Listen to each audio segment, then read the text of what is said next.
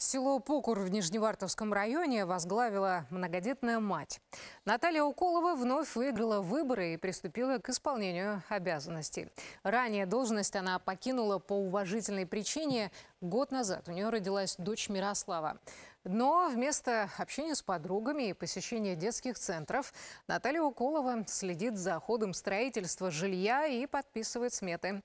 Население Покура всего 600 человек, но каждый из живущих здесь требует заботы и внимания.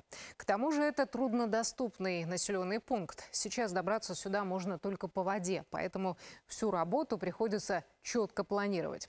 Рабочий день главы сельского поселения в репортаже Алексея Шабанова. Маленькая Мирослава получает первые уроки менеджмента. Уже две недели каждое утро она вместе с мамой ходит на работу. И к креслу руководителя привыкла больше, чем к игрушкам в детском саду, где сейчас проходит адаптацию. Мирослава, ты мне уже все порвала У мамы Мирославы, главы сельского поселения Покур Натальи Уколовой, по плану прием жителей. Нужно оперативно переключаться с семейных забот на поселковые. Сегодня на повестке завершающийся ремонт многоквартирного дома. Когда построят дом, то есть сдадут, и когда мы зайдем, зайдем, уже третья зима будет. А вы Наталью Петровну давно знаете? Наталью Петровну всю жизнь, ее всю жизнь. Активная, энергичная, жизнерадостная, семья хорошая. А что еще скажешь?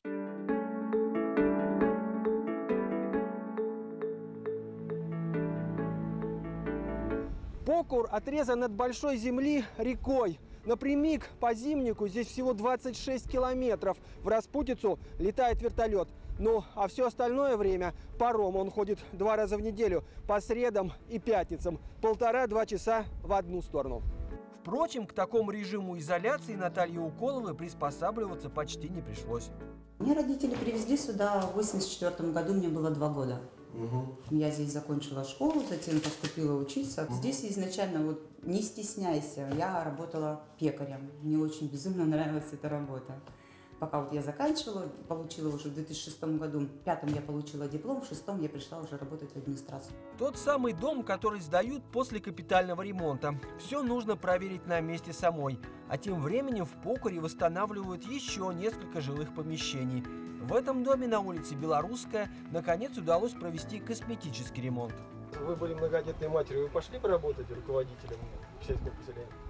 Никогда. Почему? Нет, я не настроена на это. Нет, тут надо уметь руководить людьми, это очень большая ответственность, как бы. Так что Наталья Петровна, она, я очень рада, что она вышла на эту должность. В нынешнем году Покуру исполнилось 170 лет. Полтора с лишним века назад поселение, как и многие, создавали коренные жители.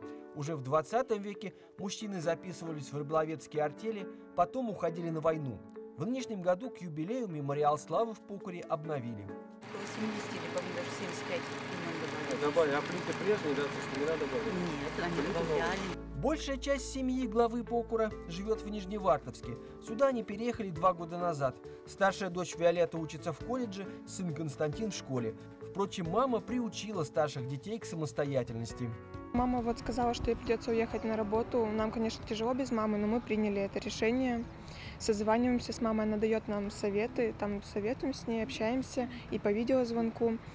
По дому я делаю уборку, готовлю кушать, слежу за младшим братом своим, он у меня учится в школе, помогаю ему. Пока у нас еще переправа, они на выходные приезжают, еще более-менее легко. На распутице будет тяжело. Это распутица месяца полтора-два у нас будет. Никакой, ну, только телефонная связь и все. Больше никак не, это, не приедут они ко мне, и мы к ним. Впрочем, впереди зима. Тогда короткая дорога позволит семье вновь воссоединиться. Но к этой холодной и такой желанной зиме главе поселения еще нужно основательно подготовиться. Эту историю из Покура для программы «Больше, чем новости» рассказали Алексей Шабанов и Евгений Лоскутников.